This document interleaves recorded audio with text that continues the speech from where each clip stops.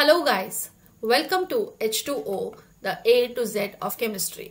I'm Dr. Ritu Johar, your educator for this course. Bonding. Today we will begin with lecture 34 from the course, but make sure you watch the previous ones before viewing this one. So in the last two lectures, we have been discussing about the molecular orbital theory. We have learned the salient features of the theory, the conditions necessary for the combining of the atomic orbitals. Plus in the last lecture, we learned how the atomic orbitals, they are going to combine to form the molecular orbitals. Now in this lecture, we will be discussing about the types of molecular orbitals. Now, if you are thinking that I'm going to again talk about the bonding and the anti-bonding molecular orbitals, well, you're going to be partly correct, but you're going to be partly wrong also. Because this is something that I've already taught you. So I will be referring to in this lecture as well. But my topic for today's discussion is not that.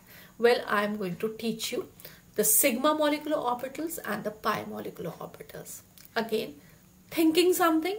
Yes, you learned something about the sigma bonds and the pi bonds while we were discussing the valence bond theory. But you have to remember that these two theories they are based upon the same principles of quantum mechanics and they are both of them they are telling us about the molecular structures so there are going to be some differences there are going to be some similarities also and we will be learning how the sigma bonds and the pi bonds according to the valence bond theories have been converted into the sigma molecular orbitals and the pi molecular orbitals now. So let us begin today's very interesting discussion. So in the types of molecular orbitals, the first we learn is going to be the sigma molecular orbitals. Now while we were discussing the sigma bond and pi bond lecture, what we learned about the sigma bond is that it is formed by the axial or the head-on overlap or the overlap of the atomic orbitals on the internuclear axis. And now what would this result into? Well, this would result in an increased electron density on the internuclear axis. Now, according to the molecular orbital theory, we say is that when the atomic orbitals, they are going to overlap, they will be losing their identity, they will be combining and forming the molecular orbitals. So, when the atomic orbitals, they overlap on the internuclear axis. They are going to combine and they are going to result in the formation of molecular orbitals and when there is a head-on overlap we call that a sigma molecular orbital okay so i hope this is clear that a sigma bond says that it is going to be just a overlap of the atomic orbitals. That is a head-on overlap. But here after the overlap what we are getting is molecular orbitals. And those molecular orbitals are called as the sigma molecular orbitals when the overlap is a head-on overlap. So for example, if we have a uh, overlap between two 1s orbitals, okay, so the s orbitals, they are overlapping with each other. By the VBT, we say that is the formation of a sigma bond and now by the molecular orbital theory, we say it is the formation of the sigma molecular orbitals. I hope this is clear. Also in the lecture on sigma bonds, we learned that a free rotation about the sigma bond is possible. So here also we talk about the same thing because rotating the sigma bond does not decrease the overlap of the orbitals involved, the sigma bonds, they have a cylindrical symmetry and a sigma bond can rotate freely about the bond axis. The next we have is the pi molecular orbital. Now what did you learn about the pi bonds? We learned when the overlap between the atomic orbitals is going to be a sideways overlap, not on the internuclear axis. This is going to result in the formation of an electron cloud above and below the internuclear axis. So again, we are talking about the same thing here as well. So the pi molecular orbital is going to result when there is going to be a sideways overlap of the atomic orbitals there is going to be an increased electron density above and below the bond axis and this is what we know as the pi molecular orbital. Again for an example, a pi molecular orbital will result from the overlap of two 2p orbitals that are parallel to each other and orthogonal to the sigma bond that exists between the two atoms. So here also first what we are talking about is that a sigma bond would be always there or a sigma molecular orbital between the two atoms would be there and after that there is going to be the formation of a pi bond if we are saying that it is a double bond that is formed and in case of a triple bond it will be two pi bonds. But that would be always after the formation of a sigma bond. So here the molecular orbital that is going to be formed by the overlapping we are seeing that the two atomic orbitals they are going to be at a 90 degree angle to the internuclear axis and the two p orbitals they have to be parallel to each other. Their directions they have to be same so that a effective overlap can be seen okay? And now in this case also because rotating a pi bond by 90 degree destroys the orbital overlap the pi bonds they cannot rotate around the bond axis. So here a free rotation is possible here a free rotation is not possible. So i hope you can now understand first of all the relationship or the difference between the sigma bond and the sigma molecular orbital and the pi bond and the pi molecular orbital according to the two theories So let us discuss them one by one. The first we will be discussing is the sigma molecular orbitals. So how are the sigma molecular orbitals formed? They are formed by the overlap of the atomic orbitals on the internuclear axis. Now when there is a overlap on the internuclear axis, depending upon the types of the atomic orbitals, we can have three types of overlap. This we've already learned in the sigma bond lecture as well. So the first possible overlap is when the overlap is between between s orbitals. So here we will be getting the formation of a sigma molecular orbital by the overlapping of two s orbitals. For example, one s orbital overlapping with another one s orbital, we will be getting always sigma molecular orbitals. Now one thing before I begin, a quick uh, recall of the shape of the s orbitals. These are spherical in shape. There is an equal electron density around the nucleus in all directions. So whenever the two orbitals they are going to overlap with each other, they can overlap in any direction. It will not matter. It will always be a head-on overlap and a head-on overlap will always give the a sigma molecular orbital, right? Now, so you have to remember whenever the s orbitals they are going to overlap, the molecular orbital type we will be getting is going to be always a sigma molecular orbital. Now, in the last lecture, what we learnt was that when two atomic orbitals they are going to combine, we will be getting how many molecular orbitals? We will be getting two molecular orbitals.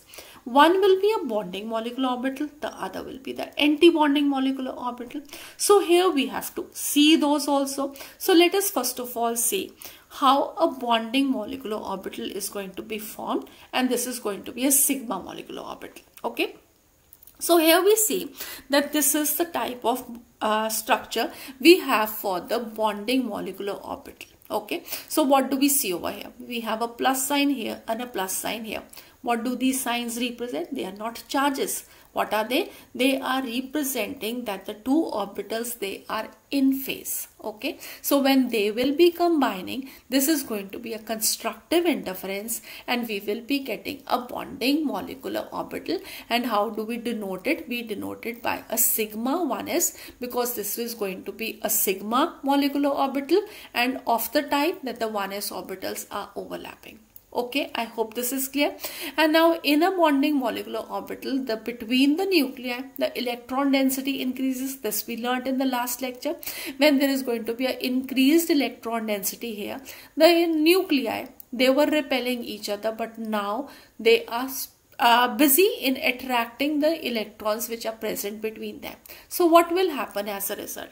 What will happen is that the high electron concentration between the two positive nuclei, they shield them from the mutual repulsions, they hold them together at an observed distance from each other right? I hope this is clear now that the repulsive forces between the nuclei they have decreased. And because they have decreased so the energy of the bonding molecular orbital this is going to be less than the atomic orbitals that were combining. Okay? And because the energy is going to be less so the stability of the bonding molecular orbital is going to be more. And this is going to contribute to the stability of the molecule form.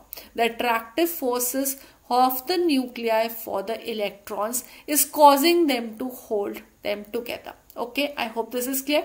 And now if you look at the shape of the molecular orbital also so this is going to be a internuclear axis and around this this is a cylindrical symmetry. So if you rotate it around the internuclear axis you will be getting the same symmetry. So there is going to be a free rotation possible about a sigma bond okay now the next we have is that if the two atomic orbitals they are out of phase.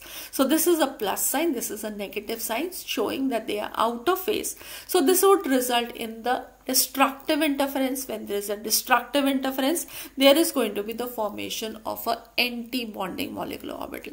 And how what do we say over here? Well we say that between the nuclei now there is a zero electron density. It is actually uh, there may be some but we say for all practical purposes it is a zero electron density between the two nuclei. And when there is zero electron density we call that as a nodal plane right? So we have discussed it while we were discussing the atomic orbital shapes that the creation of the nodal planes. So here also now because of the destructive interference the directions of the atomic orbitals they are in opposite directions so they are cancelling out each other and probability of finding the electron in this region between the nuclei is zero and there is formation of a nodal plane.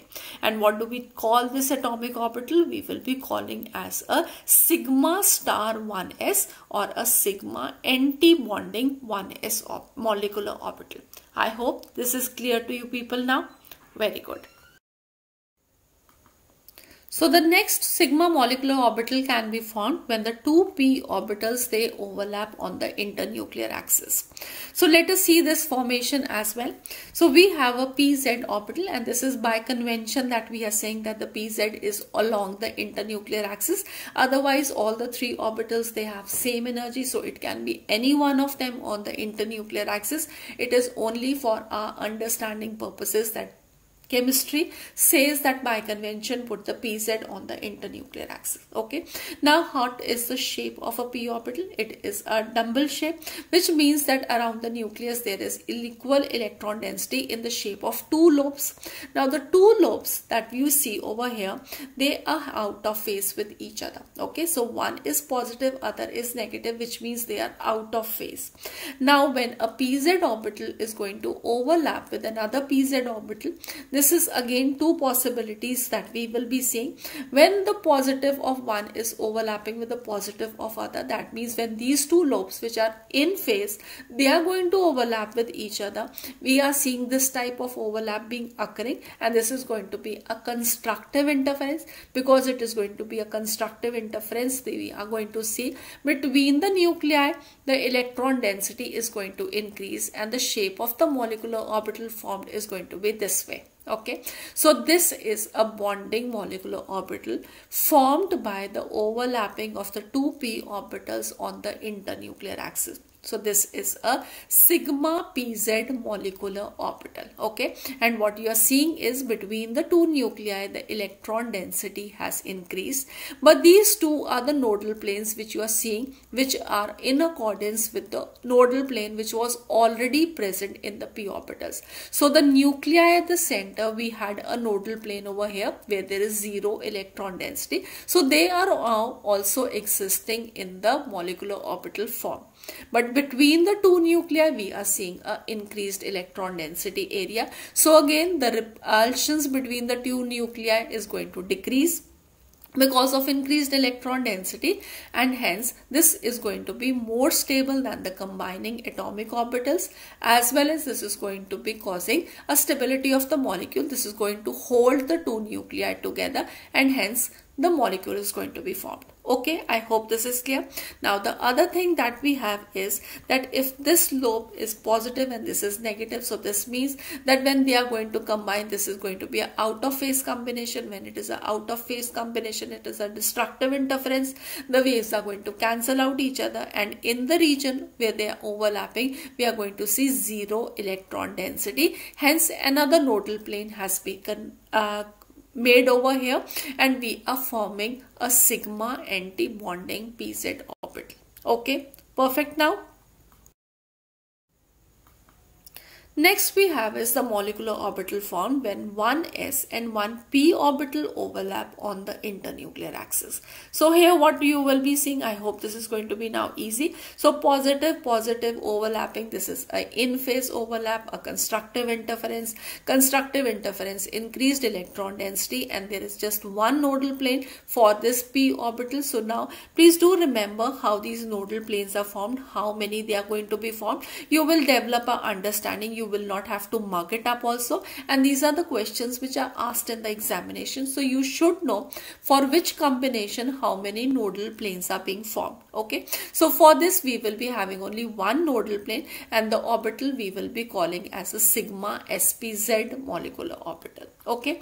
And when the overlap is between s orbital and pz when this is positive this is negative. So this is the out of phase this is a destructive interference the waves are cancelling out each other. And in this region also we will be seeing zero electron density. So another nodal plane constructed right? So what we are seeing in all these three types is that in case of the bonding molecular orbital, the number of nodal planes is always less than the number of nodal planes in the anti-bonding molecular orbital. Okay, so here we have the formation of a sigma star spz. That means a sigma anti-bonding molecular orbital formed by the combination of one s and one p molecular orbital.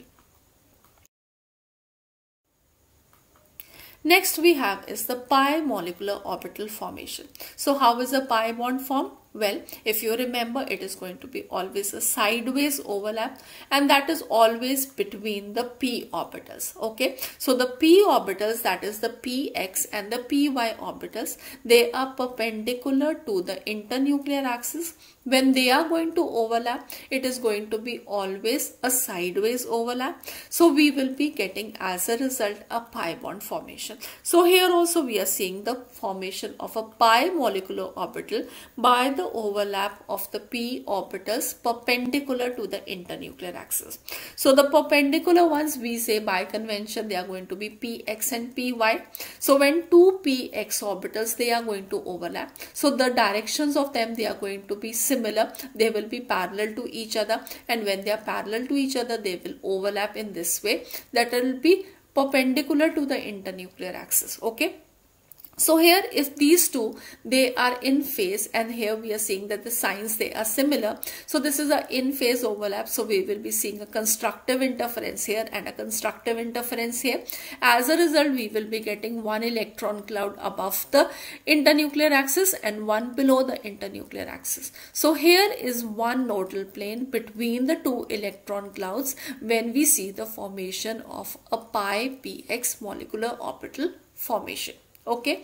And when these are going to be out of phase it is going to be a plus and minus minus and plus. So this is a destructive interference. The waves are cancelling out each other. So along with this one nodal plane which will be constructed there is going to be another nodal plane perpendicular to the internuclear axis that we can see so we have two nodal planes and the formation of a pi star px orbital. So this is the anti-bonding and this is the bonding molecular orbital that we are seeing. So again what you have to remember the pi px has one nodal plane whereas the star one has two nodal planes. So again what are we seeing? We are seeing that the number of nodal planes in the anti-bonding is always more than the number of nodal planes in the bonding molecular orbital okay so now let us quickly recap what we have learned We have learned whenever there is a nodal plane existing between the nuclei, this means that the electron density between the nuclei that is zero. If that is zero, this means the repulsions between the nuclei is high. If that is going to be high, this means what? This is going to mean that the energy of the molecular orbital is going to be more and the stability of the molecular orbital is going to be less. So where did we see more nodal planes? We saw more nodal planes in the case of the anti-bonding molecular orbitals. So that is why the anti-bonding molecular orbitals, they have more energy and they are unstable molecular orbitals. Fine, I hope it is clear to you people. The whole picture should be very clear in your mind. The next thing that we have learned is the electrons placed in the bonding molecular orbitals, they are the ones which hold the nuclei together and they stabilize the molecule. A bonding molecular orbital, therefore, this will always possess lower energy than either of the atomic orbitals from which it has combined, plus it will be also lower in energy from the anti-bonding molecular orbital okay. And in the case of the anti-bonding molecular orbitals the electrons they are going to repel each other and the repulsion is going to be more than the attraction between the electrons and the nuclei. And this is going to cause a net increase in energy and the anti-bonding molecular orbitals are going to be unstable molecular orbitals so the energy of the anti-bonding molecular orbital is always going to be higher than that of the parent ones. And then the energy of the bonding ones will be always lower than the parent atomic orbitals. So this is something that you have to remember and very importantly you have to remember. And also one thing that you have to remember is the total energy. The sum total of the energy of the molecular orbitals anti-bonding and bonding this will always be equal to that of the total total energy of the two atomic orbitals. So atomic orbital energy and the energy of the uh, molecular orbitals. The sum total for both of them remains the same.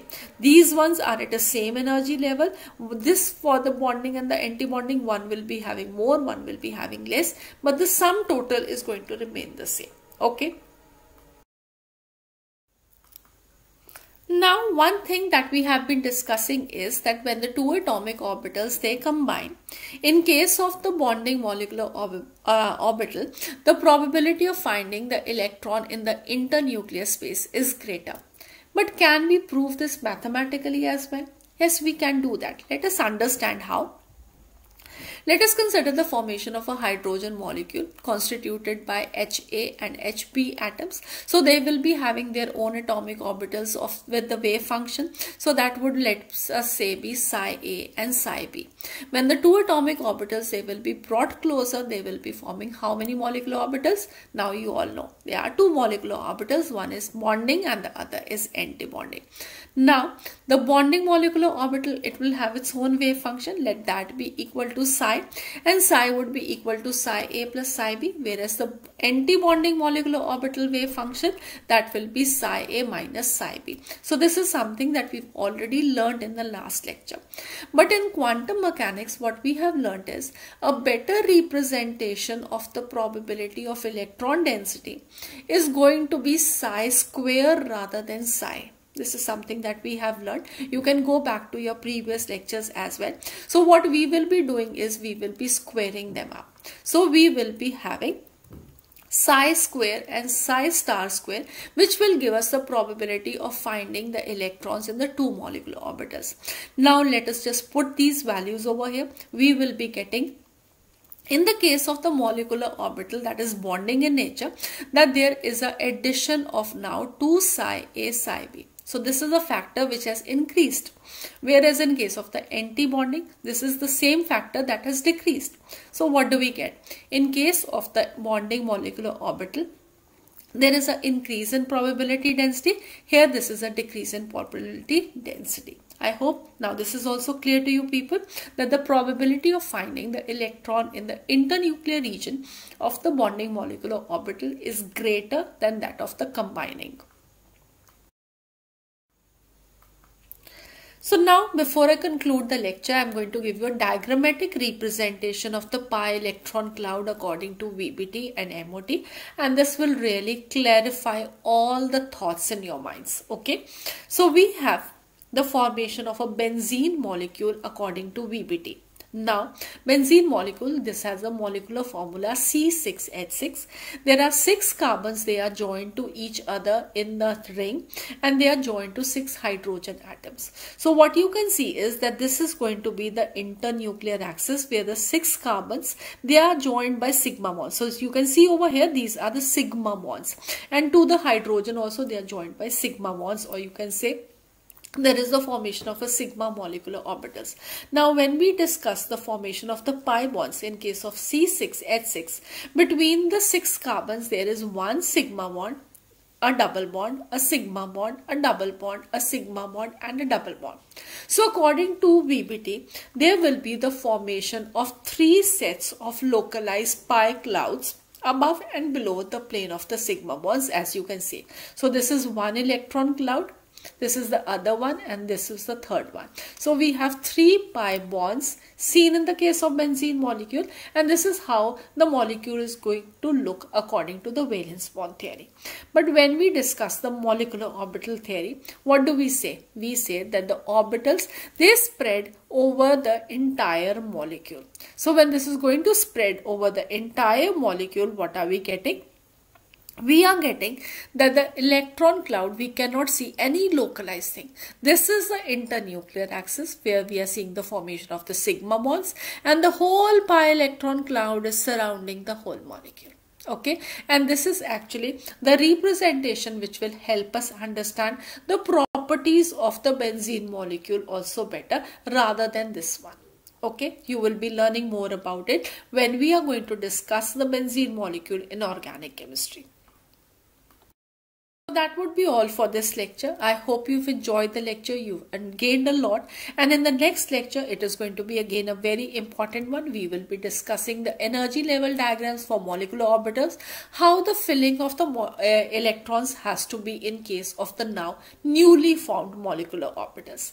So see you again for the next lecture. Do subscribe to the channel and also click on the bell icon so that you get a notification the moment we put the new lecture for you.